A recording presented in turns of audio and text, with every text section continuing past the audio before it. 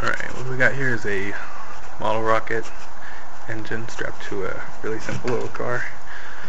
You can see here this is the ignition. It goes back to a car battery charger, 12 volts. So go over here. Got the alligator clips on the uh, insulator.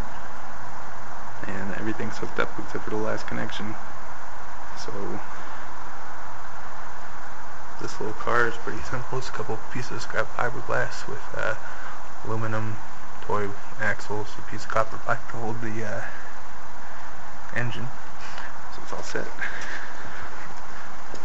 Now, obviously I don't want to get burned here, but you set the uh, camera down somewhere where you can see it.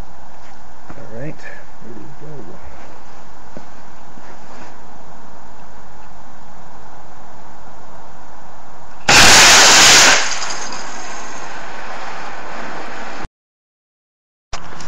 Shot over here, did a 180, stopped, then the uh, parachute ejector uh, went off and the thing uh, popped right out of the holder